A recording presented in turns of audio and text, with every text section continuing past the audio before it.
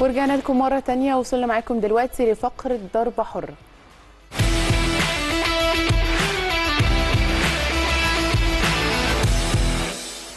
الفقرة دي مهمة جدا جدا جدا لأن إحنا هنتكلم فيها عن موضوع مهم ومتأخرين فيه شوية. الموضوع ده هو أهمية وجود استشاري نفسي في الأندية المصرية واللي بيكون موجود في الأندية الكبيرة. النادي الأهلي زمان كان فيه طبيب نفسي أيام مدير الفني مانويل جوزيه وكان موجود ساعتها دكتور محمد فكري. فاحنا بنتكلم دلوقتي بشكل عام عن أهمية إن كل الأندية المصرية تقدر تطور المنظومة الرياضية بتاعتها في مصر. لازم يكون عندها دكتور نفسي خصوصا إن ما حدش فينا يقدر ينكر دور الطبيب أو الاستشاري النفسي اللي بيقدر يساعدنا بتقديمه لحلول لينا نمشي عليها وتأهيل نفسي لينا في كل مواقف حياتنا. لما نيجي نتكلم عن لعيبة ورياضيين بيتعرف بيتعرضوا لفوز وهزيمة وضغط ماتشات محتاجين تجديد حافز سواء ده كان في الكورة أو الرياضات عموما بكل ما فيها بشكل عام. هنلاقي ان وجود الاستشاري النفسي مهم جدا وضروري ليهم. علشان كده منورنا النهارده دكتور أحمد علامي أميرة بالظبط يا هند. زي ما قلتي الأهلي طول عمره في يعني إحنا ما بنتكلمش في حاجة مستحدثة في الفترة الأخيرة وخصوصا مع ظهور فيروس كورونا اتجهت كل الأندية العالمية في أوروبا للموضوع ده وإنهم يعتمدوا على الطبيب النفسي. والموضوع كان بدأ مع فريق ليفربول الانجليزي اللي بيلعب فيه طبعا محمد صلاح في شهر مارس. اللي فات ابتدى الموضوع بعد ما شافوا إن الطبيب بيلعب دور رئيسي ومهم في مساعدة اللعيبة على تخفيف أي قلق ممكن يعانوا منه. وجي بعديه ريال مدريد الأسباني ومن بعديهم أرسنال. فالموضوع بقى منتشر والأندية الأوروبية بتشوف إن ده بقى حاجة إلزامية في الفريق. والجهاز الطبي لأن محتاجين ده في حياتنا. حد يرشدنا وينصحنا ويقوينا. يعني قرارات كتير بعد ما بنتخذها إحنا بناخدها بنكتشف إننا خدناها تحت ضغط ونرجع نندم عليها. أوقات بنخسر حاجة عاملين حسابنا عليها فنلاقي نفسنا برضو دخلنا في مود مش لطيف بيأثر علينا مدة طويلة. فما بالك بقى اللعيب شخص مسؤول مجتهد وعليه ضغط طول الوقت من الجمهور إنه يؤدي أفضل ما عنده في الملعب. وإنه لازم يكسب ولازم يفرح الجمهور. فتخيل لما بيخسر أو يحصل له مشكلة في حياته بيحصل له إيه؟ أكيد بيحبط. فخلينا نتكلم في الموضوع ده باستفاضة أكتر مع الدكتور أحمد علام استشاري العلاقات الأسرية وعلم النفس الرياضي. أهلا بيك يا دكتور منورنا. آه كل سنة وأنت طيب. أستاذة هند أهلا بحضرتك طيبة وأنتم طيبين يا رب دايما. إن شاء الله برنامج جميل وسعيد كده إن شاء الله. أهمية يا دكتور وجود طبيب نفسي في للعيبة مع الضغط اللي بيتعرضوا له. حضرتك شايف كمان بزيادة مع وجود ال social media قد إيه قد إيه بقى في ضغط من الخسارة؟ مفيش أي جمهور بيقبل الخسارة من أي لعيب. فأهمية ده كلمني عنه. آه طبيب نفسي أو أخصائي علم نفس رياضي زي ما التخصص بتاعي ويمكن أنا هنا هشرح حاجة مهمة جدا. حضرتك كلنا بنبقى عايزين حد في علم النفس تمام؟ صحيح. أو يعني بنهتم بحاجة زي كده. إنما هل حضرتك سمعتي عن حد مثلا أخصائي أو حد أو مجال اسمه علم نفس للإعلاميين علم نفس للأطباء علم نفس لل مثلا؟ لا قال لك علم النفس للرياضيين. يعني أنا علم النفس للاول حاجة كبيرة جدا. أنا خدت منها حتة صغيرة أو حتة معينة أنا بتكلم الرياضي فقط. م. طب إيه اللي خلاهم يعملوا كده؟ أو علماء النفس إيه اللي خلاهم يفكروا في إن أنا أتخصص أو أعمل تخصص في علم نفس للرياضيين فقط؟ قال لك لأن ده الإنسان الوحيد اللي بيأدي عمل وقد يكون من سن صغيرة لحد كبيرة قدام عدد كبير من الجمهور. وممكن يتعرض زي ما حضرتك قلتي مثلا للإهانة أو التقليل منه ممكن يتعرض للمدح الشديد ما هو برضه المدح ده بيأثر في نفسيتنا. فبالتالي ممكن يتعرض ده من قطاع كبير. يعني مثلا الموظف اللي بيأدي عمل قدام جمهور هيبقى قدامه كام؟ 50 20 30 ومش كلهم هيشتموه في نفس الوقت صحيح. ولا هيمدحوه في نفس الوقت. فبالتالي قال لك الضغوط اللي عليه بتبقى كبيرة جدا. فأنا عشان كده عايز أول حاجة أفهم السلوك بتاعه أفسر السلوك بتاعه أستطيع إن أنا أعدل السلوك بتاعه وأستطيع كمان إن أنا أتنبأ له بالسلوك القادم فده يبقى لازم يكون له علم مخصوص ويكون له حد مخصوص في مختلف المجالات وليس كرة القدم للفريق الكبير فقط. عشان حضرتك مثلا ذكرتي قلتي حاجة جميلة إن هي كان مانويل جوزيه من سنوات طويلة عامل كده والأندية الأوروبية بتعمل هذا التخصص طبيب نفسي أو استشاري علم نفس رياضي أو حد متخصص في التنمية البشرية. أوكي ده ده ده جميل جدا. إنما إحنا هنا بنتكلم برضو على قطاع كرة القدم. اللعيبة أو الفريق الكبير إنما فين قطاعات الناشئين دي كلها والأشبال اللي هم قد يكونوا محتاجين أكتر ومع حضراتكم في الحلقة صحيح. هشرح ده ليه لأن أنا عارف إن في أولياء أمور كتير في لعبات كتيرة جدا في أندية مختلفة كانوا محتاجين حاجة زي كده ويقولوا يا ريت إن حاجة زي كده تكون موجودة ولكن الأندية للأسف مش عارف ليه مش بتوفرها آه. دكتور حضرتك دلوقتي خليني آخد من كلامك عن الناشئين. هل وجود طبيب أو استشاري نفسي في فرق الناشئين ده يقدر يساعدني أكتر إن أنا أطلع من الناشئين دول آه لعيبة مهاريين أكتر مثلا؟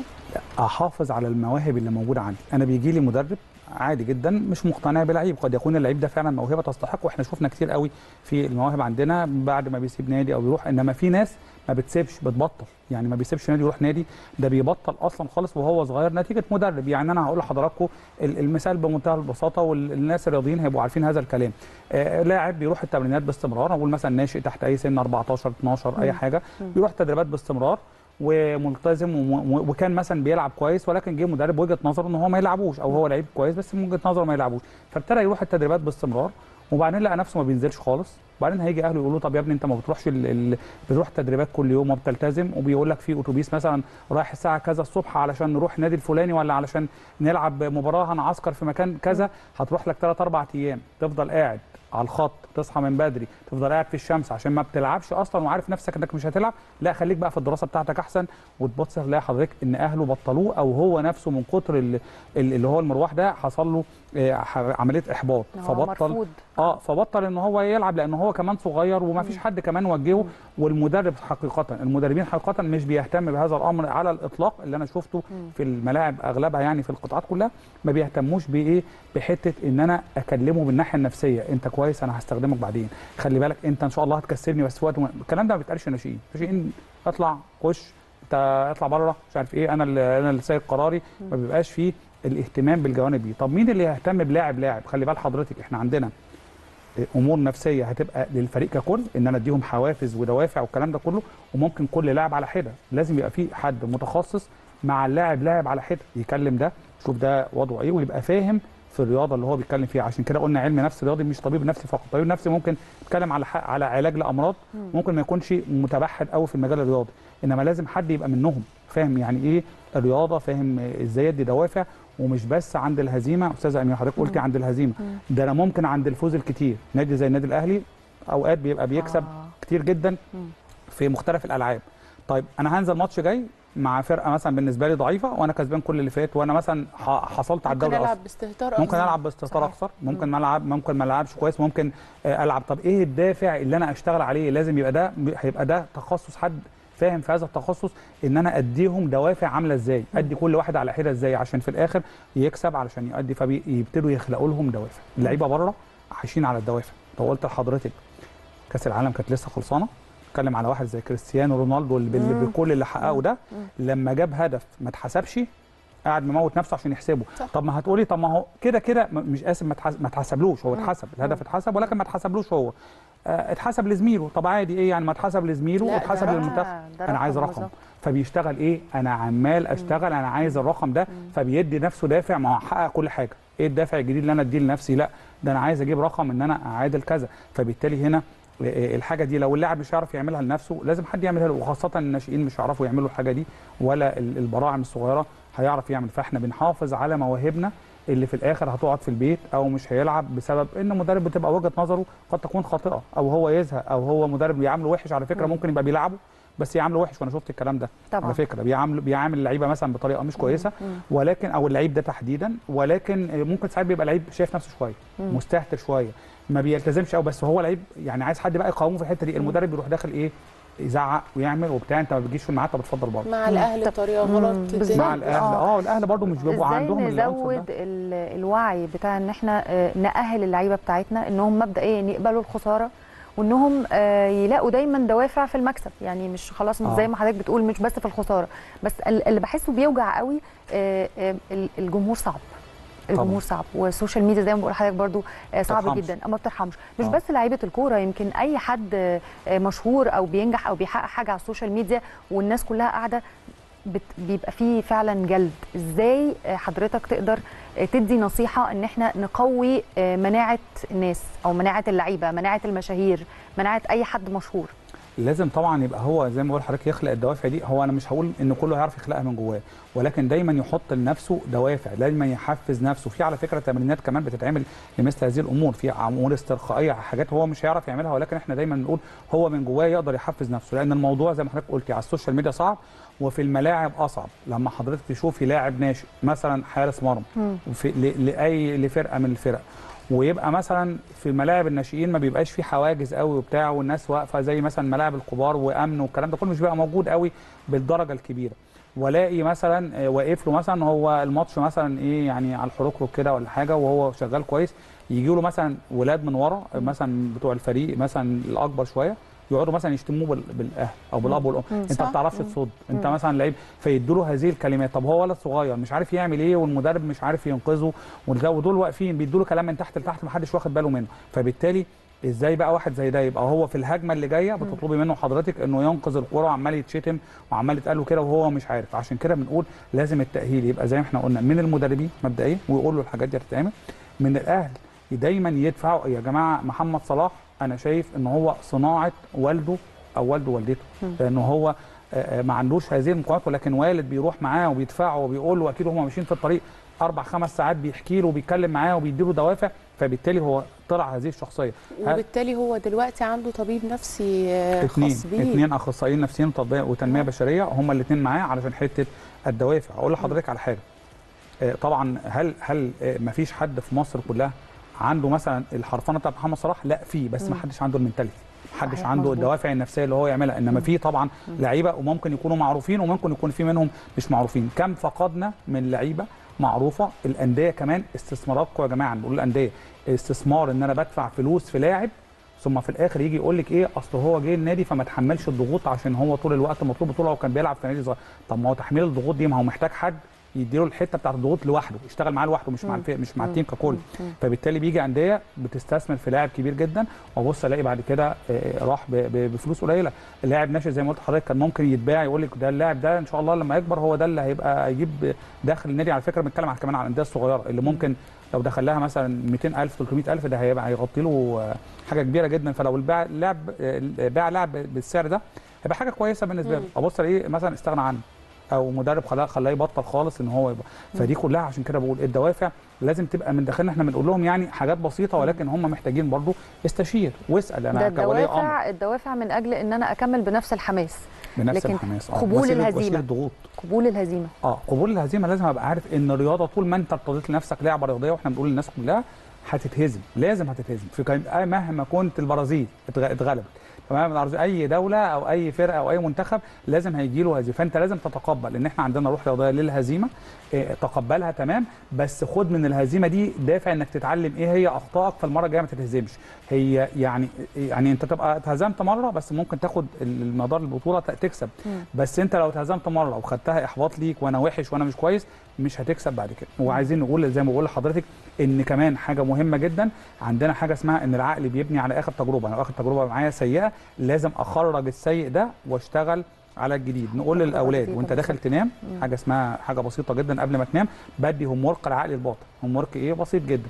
اقعد شوف نفسك في الملعب مع الفرقة دي أو مع فرقة تانية كنت عامل معاها أداء كويس شوف نفسك لمدة ساعة قبل النوم. أنا عن نفسي بعمل كده مع ايدي شوف ساعة قبل دكتور ممكن أقول. لحضرتك حاجة؟ أنا اتفضلي. كنت بعمل ده من غير ما أعرف إنه تمرين. وأنا صغيرة ما أعرفش كنت بتخيل نفسي أوقات إن أنا معروفة مع إن أنا كنت عايزة أبقى مهندسة مم. مثلا. أيوه. والحياة مشيت والظروف مشيت إنه مشيت في الطريق ده. هل إحنا فعلا لما بنقعد نتخيل حاجات الطاقة بتاعتنا بتحرك الظروف وكل حاجة تجاه الحاجات دي؟ إحنا كل حاجة شغالة عندنا بعقلنا الباطن. حضرتك عملت إيه؟ اديتي زي ما قلت حضرتك عقلك الباطن طول الوقت مشغلاه على حتة ان انت ان أنا هبقى كذا وان أنا عايز ابقى كذا. فزي ما يكون معاكي واحد أو واحدة تانية بترشدك بتقول لك خلي بالك روحي ادرسي الحاجة. يعني انت مثلا ممكن تبقي ماشية مش شايفة بس يديكي عنوان مثلا على النت أو في الشارع لدراسة حاجة معينة لإعلان عن حاجة لهدف تحققيه فأنت طول الوقت شغالة فبتعملي هذا المخزون في عقلك الباطن. فلما تيجي حضرتك تلاقي نفسك ناس كتيرة من اللي عملت الحاجة اللي حضرتك بتقوليها وساعات بنسميها كمان إيه؟ التخيل الابتكاري. يعني كمان مش بتخيل بس ده أنا بتخيل وبعمل نفسي أفضل حاجة. بحط السيناريو آه. المظبوط وبيتحقق. وبيتحقق يعني يمكن دي ممكن اتحقق مع حضرتك. شايف. ابتسامتك بتقول كده. آه. اتحقق فعلا. يعني أنا بربطها والله كمان يا دكتور ب- بقصة اللي هو إيه؟ أنا عند ظن عبدي يعني ان ربنا بيقول لك تفائل. فانا لما بتفائل فعلا ان الشيء ده يحصل حتى بالنية. يعني نية فعلاً. الصبح كده ان أنا النهارده اليوم هيبقى حلو أو النهارده أنا عندي نية عايزة نية نجاح. فعلا بحس إن في حاجات كتير قوي بتحصل كأن الكون آه هو اللي وبتشتغلي كأن الكون كله بيشتغل لحضرتك. في اليوم ده آه. زي ما حضرتك قلتي آه. كل حاجة بتعمل وكل حاجة بنفكر فيها بتو- بتتوسع وتنتشر فأنا لو شفت مثلا نفسي أجيب مثلا موبايل ماركة عربية ماركة معينة هفضل أشوف كل الحاجات العربية أو الموبايل اللي أنا بشوفه كتير مع ان هو مش كتير ولا حاجة اللي قاعد جنبي مش شايفه كتير هو إيه اللي بيحصل عقلي الباطن كأنه بيشاور لي بص في واحد أهو وفي واحد كمان الناحيه دي في ال- الأستاذة مثلا هند ماسكة واحد حطها على جنب. فهو خلاهم لي كتير. فبالتالي هو كمان ده الكلام في النجاحات بتاعتنا وفي الشغل بتاعنا. كمان مهم جدا نبقى إحنا عارفين الحركة بتاعتي والأداء بيجي منين. بيجي اولا مخ بيدي إشارة للأجهزة العصبية بتدي إشارة للأجهزة الحركية بتيجي معاها الحركة. لو أنا عندي تشويش في الأول على حتة المخ مثلا نازل كده يعني خانع شوية حاسس إن أنا أصلا هتهزم مش عارف إيه فكأن ده بيشوش لي فالحركة بتيجي بطيئة بتقل شوية. إحنا لسه آه. مكملين كلامنا مع حضرتك لكن هنطلع فاصل سريع ونرجع نكمل مع حضرتك. ورجعنا لكم تاني مشاهدينا ومكملين فقرتنا مع دكتور أحمد علام. آه، دكتور كنا بنتكلم قبل الفاصل وبنقول آه، الضغط اللي على اللعيبة. يعني دي بجد مشكلة. يعني انت ممكن تلاقي لعيب جامد جدا وعامل كل اللي عليه وضيع ضربة جزاء. ال- الهجوم ال- اللي بيتعرض له. أنا عندي هنا سؤالين بيخص اللعيبة وغير اللعيبة يعني. بتفضل إن الناس تقعد تقرأ كل الحاجات السلبية اللي بتقابلها على ال social media ولا آه، التجاهل في المواقف دي بيكون أفضل؟ لا التجاهل في الفترة في ال- في, ال- في الوقت ده بيكون أفضل. هتلاقي حتى كان عندنا مثلا يقول كابتن جوهري كابتن حسن شحاته زمان كانوا بيقدروا يسحبوا ما كانش فيه موبايلات بس يقفل التلفزيونات بالليل ممنوع الجرايد ممنوع عشان يفضل طول الوقت مركز على اللي أنا بقوله التركيز لأن ده بيشوش على التركيز بتاعه. فيفضل لو يقدر لو يقدر. في ناس ما إنما لو بيقرأ بس بيعرف يفصل ده كويس. بس مش كل الناس بتعرف تفصل. ومع الوضع في الاعتبار إن في حتة حاجة عايز أقولها.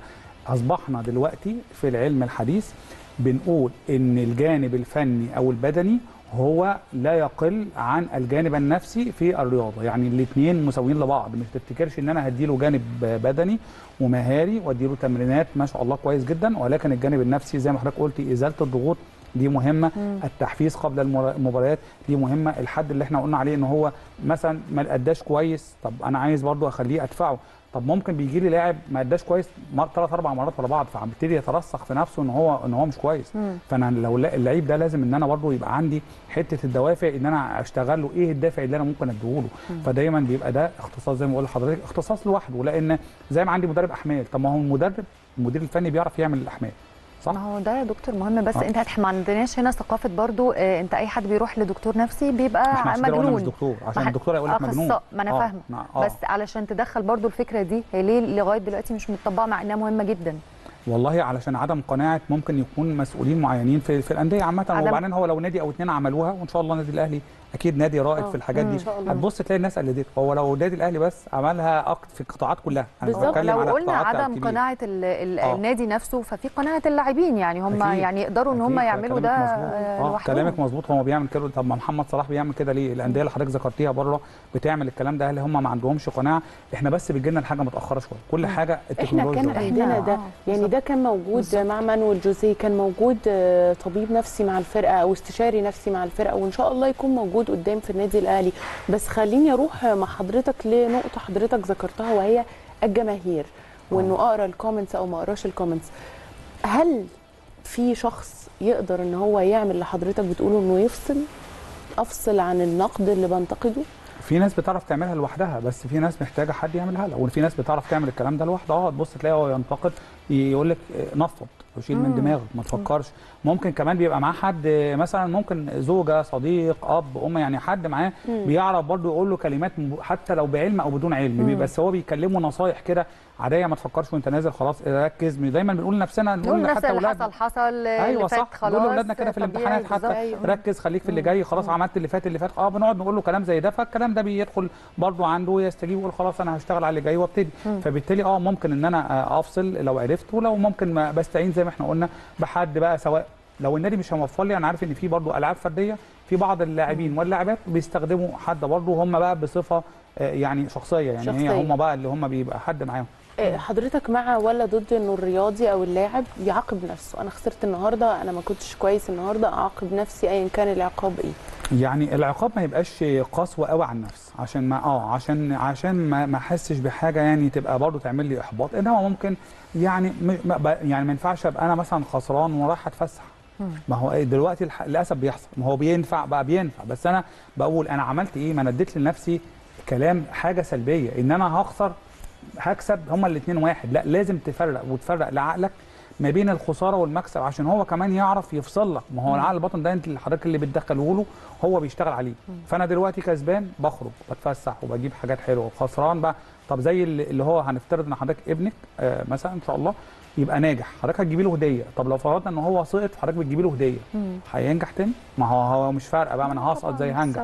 فبالتالي أنا كمان لما. بعمل مع نفسي هذا الأمر يفضل يبقى حاجة بسيطة. مش هقول لك عقاب بس أنا بفكر نفسي إن أنا كان عندي مشكلة فابتدي إن أنا أشتغل عليها وأفكر في اللي جاي وأشوف أنا أخطأت في إيه بدون بقى آخد الكلمات السلبية ولا الكلام ده كله إنما أشوف أنا أخطأت في إيه. ودايما ندي لنفسنا آه، كلمات إيجابية دوافع معينة. على فكرة مثلا بنشوف في لعيبة التنس بره بيكلم نفسه. كلامنا عندنا اللي بيكلم نفسه يبقى مجنون صح؟ هو بيكلم نفسه وهو بيلعب قدام الجماهير ويقول كنت عملتها كذا فأنا المفروض أعمل إيه؟ وساعات بيرمي المضرب ساعات بيعمل طب ما هي الحاجات دي كلها هو بيعمل إيه؟ بيكلم نفسه بيكلم عقل الباطن اشتغل على اللي جاي اديني الأداء اللي أنا كنت محتاجه. فين الأداء؟ الأداء ده ما طلعش ليه زي ما بقول لحضرتك علشان الحركة عندي حتة متوقفة. حاجة كمان استدعاء الذكريات السلبية عن بعض المباريات أو عن بعض الفرق. ويعني مش عايز أنا أنا بس يعني إيه بحط حاجات معينة بعمل تحليلات والناس تدور وراها وخليهم يشوفوا. أنا مثلا ممكن أتكلم عن آخر آخر ماتش تعادل الأهلي مثلا مع سموحة. آه. نفتكر السنة اللي فاتت مين اللي غلب الأهلي؟ هزيمة ما كانتش حلوة. سموحة صح؟ طيب هو النهارده مين اللعيبه هل اللعيبة اختلفت كتير؟ هم يمكن ثلاث لعيبة اللي جم جداد. فهي نفس اللعيبة. تمام هو أنا ما أعرفش هل هم جواهم بيفكروا في كده؟ يعني ممكن يكون ممكن بيفكر يكون آه الفرقه دي غلبتني قبل كده فببقى نازل عندي الحته عندي خوف آه دي اللي بتشغل لي بقى الحتة اللي بتخلي نفس- لعيب مم. بيجيب الكوره بمنتهى السهولة من بعيد ويجي في ضربة الجزاء يروح مطلعها بره ما هو الحتة دي وهو بيفكر هضيعها هيحصل كذا الجون ده اصله كده ما هو بيقول لنفسه الكلام ده. لو اتحط في الحتة اخر دي ضاع تجربة ذهنية. بالظبط. ليه؟ طبعاً. مع الفرقة دي كانت كذا فهو بيعيد نفس التجربة طبعا فيا آه، ريت يعني يشتغل عليها مع ده ده الفرقه يغير يعني اللي حضرتك بتقوله ده يغير مسار ما هو بطولات. ما هو ما أنا بيحصلش هقول بقى لحضرتك حاجة يعني. أنا ممكن أتوقع أنا ممكن أتوقع لك أحيانا نتيجه الماتشات بسبب الحاجات بسبب نفس نفس ال- الكلام اللي هو اللي بيحصل اللي هو النفسي. ممكن تلاقي مثلا ألمانيا وكوستاريكا كأس العالم. لعبوا بعض مرة واحدة قبلها ألمانيا غلبت 4 2 في كأس العالم غلبت اللي فات ده غلبت برضه 4 2 وكانت مغلوبة 2 1 هل الحاجات دي كلها صدف ولا هي حاجات بتبقى في الأذهان؟ أنا عارف إن أنا داخل الفرقة دي بلجيكا مع اعتبار الماتش بلجيكا دي دايما بتبقى فرقة قوية. بتيجي قدام مصر عادة مصر بتغلب صح؟ هو دكتور 1-0. آه، وجهة نظري برضو للنقطة آه. دي إن إحنا ما بنخلصش مشاكلنا مظبوط. يعني أنا اتهزمت مثلا من فرقة. ما, ما بقفش واقفة كده وأقول والله أنا كانت مشاكلي واحد اتنين تلاتة والموضوع انتهى وأتقبل اللي حصل وأرميه ورا ظهري وأمشي. أنا بفضل حاطه في دماغي. أعتقد صح. لو المواضيع بتنتهي صح ما بتتكررش تاني. صح أو يديني التح... أو آخد التحليل الن... أنا أحلل بقى لنفسي أو حد يحلل النفسي مع ال... مع البدني وال... لحضرتك والفني. يبقى أنا خلي بالك آه معلش دي فرقه غير الفرقة ده أنت عملت كذا بس أنت أنت دايما أنت بتكسب متعود كذا يعني ممكن أبتدي اغلو إن حتة ال- اللي هي اللي بيبني على آخر تجربة دي دي حاجة أصلا يعني آه، مشكلة. إن هو يعني ممكن أضربها لحضرتك مثل بسيط جدا كلكم كلكم مثلا هتقعوا فيه. لو افترضنا ان أنا مثلا ساكن في شقة بطلع كل يوم الدور التاسع مثلا بالأسانسير كل يوم بقالي 40 سنة. الأسانسير جه عطل مرة واحدة وأنا فيه. قعدت ربع ساعة بتاعه المهم فكوه تاني يوم وأنا طالع العملية هي هي ده مع إن أنا 40 سنة يكسبوا مرة صح؟ مش ال 40 سنة دول المفروض هم اللي يكسبوا المرة. صحيح. وأنا طالع قلقان. أشوف حد طالع الأول. طب ما تخلي البواب كده يجي معايا. طب ادوس على الدور الثالث الأول يمكن ما آه. فابتدي عندي عملت حتة قلق لحد ما اطمن. تاني مع إن الطبيعي إن مرة ما تك- ما تكسبش 40 سنة يا جماعة. بس هو حتة إن مخي باني لي على آخر مرة خاصة الأمور السيئة. فبالتالي السيئة كمان المرة بتكسب عش- عشرات. عارف اللي حضرتك بتقوله ده بيفكرنا بعلاقات بين أزواج صح. إنه مثلا الزوج أو الزوجة يبقى طول السنين مضحي وكويس وحلو وهايل وتيجي غلطة واحدة تمسح كل اللي فات والناس بتقعد تلوم على ده إنه ده صح ولا ده غلط ويعني أنت نسيت لي كل حاجة بعد أول غلطة بيقول لك أنت عمرك ما عملت لي كذا آه. وعمرك ما وديتيني في بتبقى كل حاجة حاجة دي. بسبب الغلطة اللي هي السيئة اللي التجربة بتمسح. التجربة السيئة بتمسح وتاخد وقت يقول لك كمان الثقة الثقة بتاخد وقت كتير جدا لو اتقطع لو اتهزت في إنسان.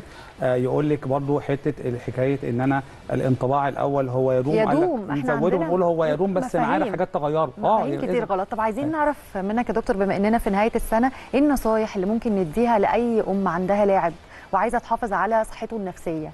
آه تعمل إيه وتبتدي معاه من سن قد إيه؟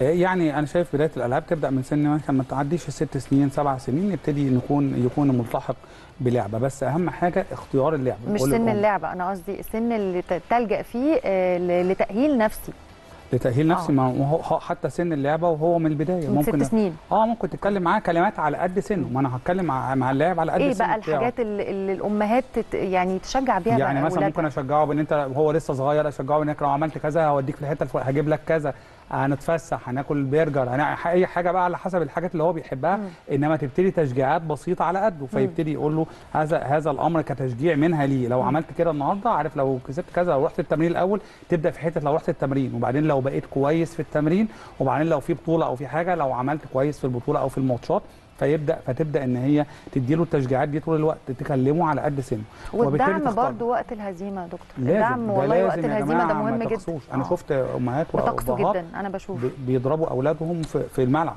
أحيانا وما أنا ده هنلاقي فين. الحب الغير مشروط لما ما هو ده اللي إحنا يعملوا فيه. اللي هو دعم الأم حتى في الخسارة أنا أنا بحبك أنا مش زعلانة منك أنت شخصيا أنا هتعمل عارفه إن أنت أحسن. هتعمل آه. أحسن التشجيع ده عشان الإحباط ما يبقاش من بره ومن جوه طبعا واجد له مبررات يعني أنا عارف إن ابني كويس بقى في اللعبة دي اجد له مبررات لأن هو كان وحش. إن. أنا أنا عارف إن أنت عشان أنت بس ما عملتش كذا. أنا عارف إن أنت علشان أنت كنت بس إمبارح فكرت في كذا. فأنا عشان الفرقة برضو كلها مش عاملة الدور اللي عليها. فبالتالي أبتدي اجد له هذه المباراة. دايما نفكر في حاجتين مهمين جدا نقول لاولياء الأمور.